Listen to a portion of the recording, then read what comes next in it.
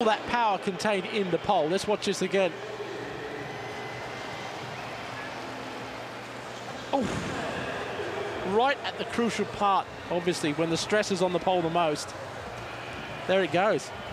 Luckily, the forward momentum carried him into the pit. Otherwise, it would have been a serious injury landing on the concrete just behind.